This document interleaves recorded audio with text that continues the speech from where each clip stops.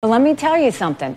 If ever you look at the world stage and see what's happening, we have to have a new generational leader. We can't deal with the grievances of the past, the headlines of the past. You know, what happens? We have this horrific tragedy in Israel, and Donald Trump's going to sit there and talk about an old issue he's got with Netanyahu. You don't do that to a country who just brutally lost so many of their people. Well, he's got more. But he's continuing. He's got more live in the grievances with Georgia he- election officials than he has. He's got grievances with everybody, but I'm saying we don't have time for grievances. We have a country to save.